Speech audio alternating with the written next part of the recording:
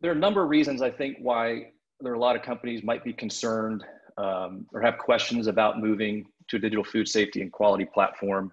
Um, I know you know it's easy to stay in your comfort zone, right? I think you know when you think about well, it's worked, it's always worked, so why can't we just keep doing it the way we're doing it?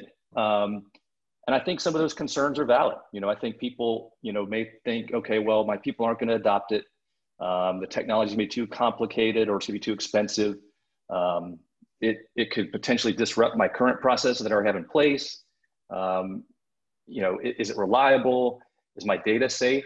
And, and I think, as you alluded to, Beth, I think in light of the new era uh, of, of food safety, companies need to start looking to innovate, you know, and move away from the old "if it ain't broke, why fix it" mindset. And and I think you you may have said this, but I think you know while technology is at the center of the blueprint, it's you know I think smarter food safety is more than just the technology piece.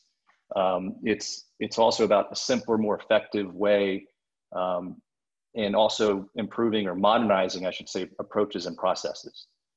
So, um, you know, I think, and the, and you know, the cartoon's a little bit of a, you know, a ding, but it, it I mean, it, I think that's just where we all are. You know, you, you kind of get in the habit of doing things a certain way, um, but I think there's there's room for innovation and there's room for improvement.